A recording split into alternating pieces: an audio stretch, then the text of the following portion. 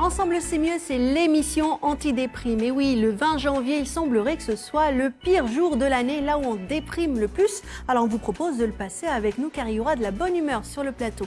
On vous donnera tous les conseils pour vous chauffer au bois cet hiver et on vous présentera Michael. Il est gardien d'immeuble depuis 20 ans à Nantes, mais il est aussi photographe, il fait de l'urbex. Alors de quoi s'agit-il?